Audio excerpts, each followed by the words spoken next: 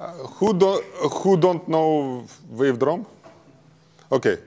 Uh, I have to go to next slide uh, for, for a couple of guys. Uh, uh you take some JSON-like description uh, and you get a picture. Um, and uh, you can also take something like this and get a register description or field, bit field diagram uh, general, and RISC-V specs full of this stuff. So all RISC-V done using this and this. Uh, and also you can do some small, small schematics. It's not very fancy, but you can write some uh, something like this uh, uh, and get something like this. How do you do it? Or you go online to wavedrom.com. Very hard to forget, okay? wavedrom.com.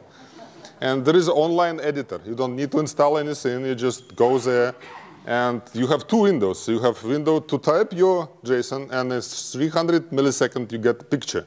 So it's uh, like real, real time. And you can click on this little button, which is uh, very hard to find. People searching it here, there, but it's actually here with a menu and a load, a save, uh, whatever, and rotate layout. Now, um, oh, you can embed it in your web page. Uh, you can run a command line version of it, so we just uh, you know JSON in and uh, SVG out. Um, you can uh, uh, have a plugin in the browser.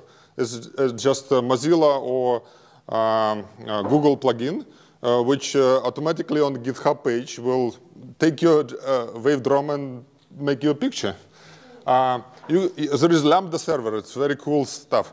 So you send this request to that server, like HTTP request, and instead you get SVG picture. Uh, uh, you can share it with your, with your friends in the blog, tweet, forum, documentation, reviews. You can put it in a specification like TileLink Wishbone already did. Uh, and um, uh, you can uh, put it in your favorite uh, you know, Jupyter-like notebook, or this one is observable. Um, or you can do some other stuff with it. Um, you can generate patterns, uh, constraint assertions, test, uh, test bench, people doing crazy stuff with it. I'm not responsible. If you find something like this, it's not me.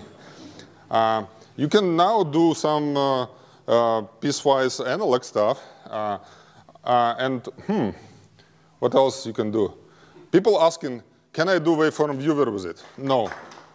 But you can go to this website, and that's a real waveform viewer.